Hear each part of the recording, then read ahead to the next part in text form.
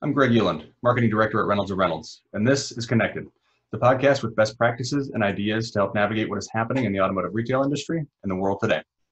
As the COVID-19 virus continues to change our world and how we live and work daily, this podcast discusses ways to continue operating in this unprecedented social environment. On today's episode, we have with us Hayley Holmes, Product Planning Manager at Reynolds & Reynolds. Hayley, thanks so much for joining.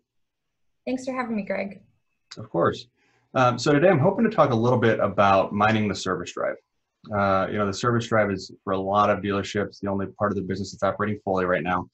Uh, but my first question is, given the current environment, is it even appropriate to be mining the service drive for, for sales customers right now? Um, well, really, when done with empathy and compassion, yes um, this time is a really good time to be thinking about what the customer's needs might be. And a lot of them might be struggling financially or at least short term financially. And lowering someone's monthly payment could be a big help to them at this point. Uh, with that being said, your normal equity mining parameters might not be the best fit. Maybe consider taking someone into a different model than what they're currently driving. That's maybe at a lower price point or even taking somebody from a new into a used vehicle instead.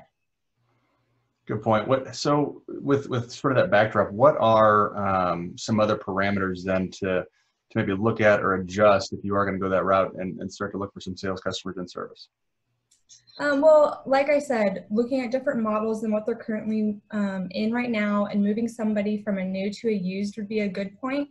But then the next step would be looking for somebody that has more than 12 months left on their current loan. Um, if they have under that amount of time left, they're probably of the mindset, you know, I'm just going to weather the storm and get through until I have no payments.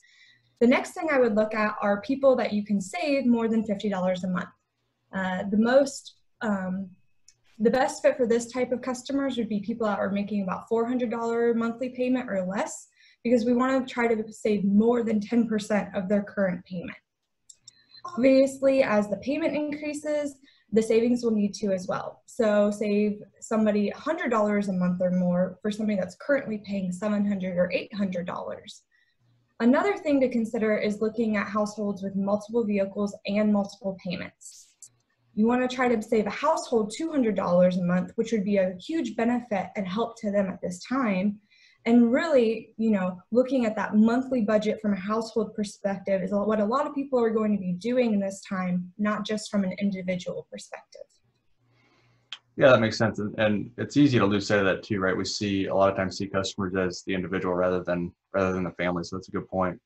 Um, what else? What other things are there to, to maybe look for in the service drive that um, wouldn't necessarily be top of mind in, in sort of our normal environment? Uh, another thing to look at are consumers who are leasing.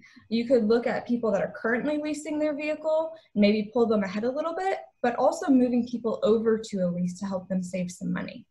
For those customers coming off a lease, which there are about 1.8 million due this spring, uh, they really might not know what to do right now. There have been some lenders that have extended their lease due date because of the virus, but there's so much uncertainty for people, simply communicating to the consumer their options is the big help for them right now. On the flip side, looking at your data mining software to look to for opportunities to move people maybe from a finance customer over to a lease can help save them some money as well on their monthly budget. Yeah, for sure. As long as the numbers work, I mean, obviously the, the lease payment is going to be a lot lower. So that's um, not something that we always look at, but uh, good point for sure.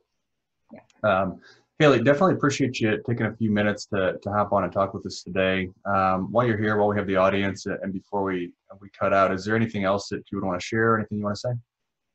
Um, really, just to reiterate that anything you do from a sales perspective right now, just keep in mind the customer and what they're going through. Um, and remember that if you are approaching customers um, and, and talking to them about sales, that really take the steps to really protect and keep safe and healthy your salespeople and the customers. And remember that if you are going to talk to people, that a phone call is probably most appropriate at this time, even if the customer is sitting in your service drive waiting.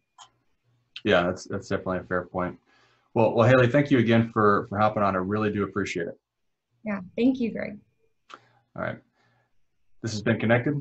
Stay safe, and we'll see you on the next episode.